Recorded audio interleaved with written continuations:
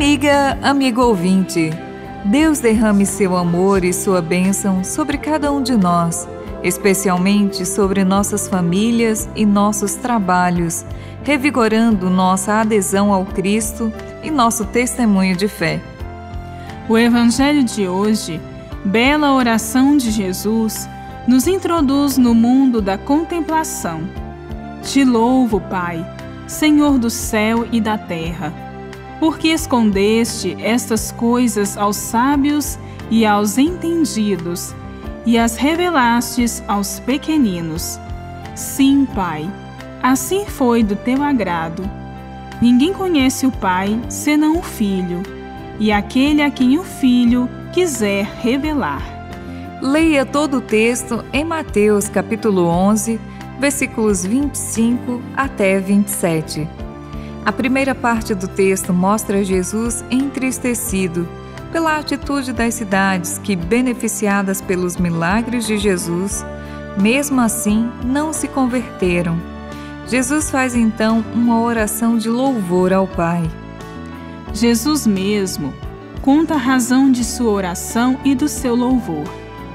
O Pai se revela aos que têm um coração humilde e simples, aos que se deixam conduzir por Sua palavra e por seu amor.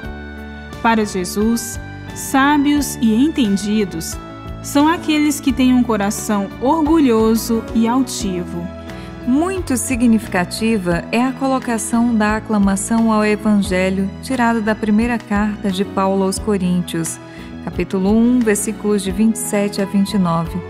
Deus escolheu o que é loucura no mundo para confundir os sábios, e Deus escolheu o que é fraqueza no mundo para confundir o que é forte.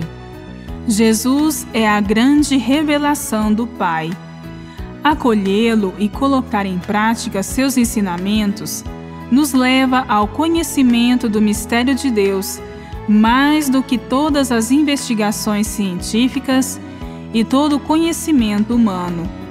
Assim, o catecismo define a contemplação. É o olhar fito em Jesus. Seu olhar purifica o coração. A luz do olhar de Jesus ilumina os olhos do nosso coração e ensina-nos a ver tudo na luz de Sua verdade e de Sua compaixão, proporcionando-nos o conhecimento mais íntimo do Senhor, para mais o amar e seguir. Deus só pode ser visto tal qual é quando Ele mesmo abre seu mistério à contemplação direta do homem e o capacita para tanto. Peçamos ao Senhor a graça de termos os olhos e o coração bem abertos para recebermos a sua graça. Bíblia, Deus com a gente. Produção de Paulinas Rádio. Texto de Irmã Solange Silva. Apresentação: Irmã Solange Silva e Irmã Bárbara Santana.